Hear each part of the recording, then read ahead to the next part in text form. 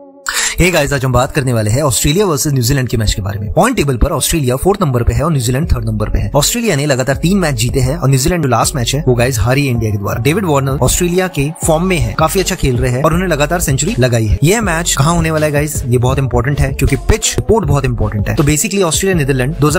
world cup के finalist रहे head to head की बात करें तो ऑस्ट्रेलिया ने आठ मैच जीते और न्यूजीलैंड ने दो मैच जीते हैं तो गाइज पिच रिपोर्ट की बात करें तो मैच धर्मशाला में होगा और यहाँ पिच दोनों बेसिकली बैटर्स एंड बॉलर्स दोनों को सपोर्ट करती है चेस करने वाली टीम ने ज्यादातर यहाँ मैच जीते हैं तो कौन जीतेगा मैच गाइस फाइनल रिपोर्ट आपको हमारे टेलीग्राम चैनल पे मिलेगी जो की है एम किंग स्पोर्ट्स जिसका लिंक आपको हमारे कमेंट बॉक्स में मिलेगा और अबाउट सेक्शन में तो गाइस एम किंग स्पोर्ट्स को लाइक एंड सब्सक्राइब कीजिए चलिए गाइस अब हम बात करते हैं कि ऑस्ट्रेलिया वर्सेज न्यूजीलैंड इसमें ड्रीम इलेवन या जो फैंटेसी लीग लोग खेलते हैं उसमें कौन सी टीम लगानी चाहिए तो गाइज अब चलिए हम इसका डिटेल एनालिसिस करते हैं कि टॉप प्लेयर्स ऑस्ट्रेलिया के कौन है पहले है डेविड वॉर्नर दूसरे है ग्लेन मैक्सवेल तीसरा है एडम जेम्पा और फिर है मिचिल मार्श बट गाइज यहाँ पे जो डार्क हॉर्स साबित हो सकते हैं इस मैच के अंदर गाइज वो है स्टीव स्मिथ तो गाइज आप, आप जरूर स्टीव स्मिथ को कैप्टन वाइस कैप्टन बनाइएगा और दूसरे जो डार्क हॉर्स साबित हो सकते हैं वो है जॉर्ज हेजल और गाइस एक और प्लेयर कमाल करके दिखा सकते हैं इस पिच पे उनका नाम है कैमरून ग्रीन अब बात करते हैं न्यूजीलैंड की वो है Daryl Mitchell Trent Boult Matt Henry Lockie Ferguson रचिंद्र पर या इस पिच पे कमाल कर सकते हैं गाइस रचित रविंद्र इनको आप जरूर टीम में अपने कैप्टन वाइस कैप्टन बनाइएगा और साथ में गाइस यहाँ पे आपको कहीं ना कहीं डेवन कॉनवे भी कमाल करते देखे जा सकते फाइनल टीम टेलीग्राम पे मिलेगी तो हमारे चैनल को लाइक एंड सब्सक्राइब करने के लिए थैंक यू गाइज एंड इस वीडियो को आप स्प्रेड कीजिए